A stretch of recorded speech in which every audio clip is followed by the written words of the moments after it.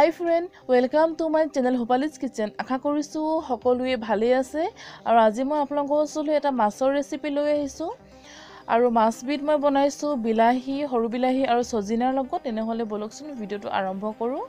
আৰু এয়া মাছ লৈছোঁ মাছখিনি মই ভালকৈ চাফা কৰি লৈছোঁ আৰু লগতে মই লৈছোঁ চজিনা আৰু আলু আলু এনেকৈ মই কাটি লৈছোঁ দীঘলীয়াকৈ। আৰু লৈছোঁ মই সৰু বিলাহী সৰু বিলাহীখিনি মই ভালকৈ ধুই মাজে মাজে ফালি লৈছোঁ। আৰু এটা মিডিয়াম চাইজৰ পিঁয়াজ মই কাটি লৈছোঁ আৰু লগতে লৈছোঁ মই পাঁচফোৰণ। আৰু শুকান মছলা লৈছোঁ মই হালধি গৰম মছলা জিৰা আৰু ৰেড চিলি পাউডাৰ আধা চামুচকৈ লৈছোঁ গোটেইখিনি।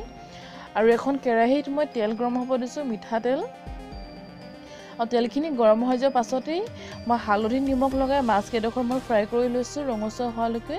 আৰু এয়া মাছখিনি মই উলিয়াই ল'লোঁ এখন প্লেটত আৰু একেখন কেৰাহীতে এতিয়া ইয়াত মই যোনখিনি মই লৈছিলোঁ পাঁচফোৰণ সেইখিনি মই দি দিছোঁ। আৰু পাঁচফোৰণখিনি মই কেইছেকেণ্ডমান এনেকৈ মই তেলত দিয়াৰ পাছতেই মই কাটি থোৱা পিঁয়াজখিনি দি দিছোঁ। আৰু পিঁয়াজখিনি মই ৰঙচুৱা হোৱালৈকে ভাজি ল'ম এনেকৈ লৰাই লৰাই। আৰু জুই ফ্লেমটো মই মিডিয়াম ৰাখিছোঁ।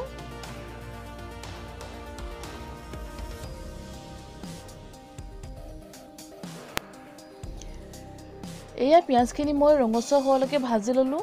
আৰু এতিয়া ইয়াত মই কাটি থোৱা চজিনা আৰু আলু কেইডোখৰ দি দিছোঁ। আৰু লগতে যোনখিনি মই শুকান গুড়ি মছলা লৈছিলোঁ সেইখিনি দি দিছোঁ মই ইয়াত। আৰু লগতে মই নিমখ সোৱাদ অনুযায়ী দি দিম। আৰু এইখিনি মই ভালকৈ মিক্স কৰি ল'ম। আৰু এয়া এনেকৈ মিক্স কৰি ল'লোঁ এইখিনি মই। আৰু মিক্স কৰাৰ পাছতে মই ঢাকনি এখন লগাই দহ মিনিটৰ কাৰণে সিজিবলৈ দিম। আৰু গেছৰ ফ্লেমটো মই মিডিয়ামে ৰাখিছোঁ এতিয়াও।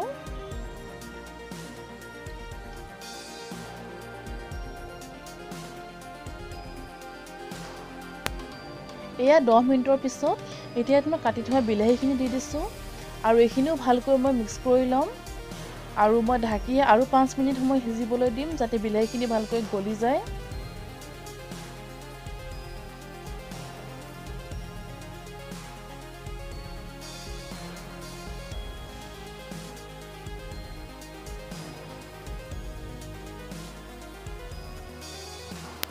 আৰু এয়া পাঁচ মিনিটৰ পিছত বিলাহীখিনি মোৰ ভালকৈ একেবাৰে সিজি গৈছে গলি গ'ল বিলাহীখিনি। আৰু এতিয়া ইয়াত মই দুগিলাচমান জোখৰ পানী দিছোঁ। আপোনালোকে যদি এনেকৈ জোল বেছি বিচাৰে তেনেহ'লে আপোনালোকে পানী আৰু অকণমান সৰহকৈ দিব পাৰে।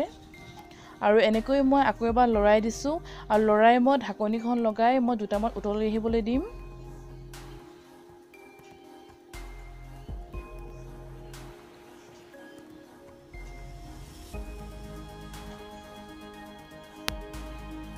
এই এইখিনি উতলৈ আহিছে। আৰু এতিয়া মই ফ্ৰাই কৰি থোৱা মাছকেইডোখৰ দি দিছোঁ।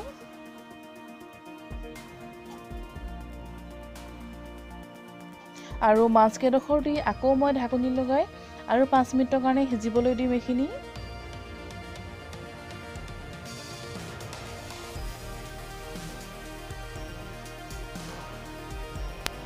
আৰু এয়া মোৰ মাছৰ তৰকাৰী ৰেডি হৈ গ'ল। আৰু কেনেকুৱা পালে মোক জনাব আপোনালোকে। আৰু ইমান দেৰি মোৰ ভিডিঅ'টো চোৱাৰ কাৰণে সকলোকে মই ধন্যবাদ জনাইছোঁ। এনেকৈ মই বনোৱা নিচিনাকৈ আপোনালোকে নিশ্চয় এবাৰ ট্ৰাই কৰি চাব খুবেই টেষ্টি হয়।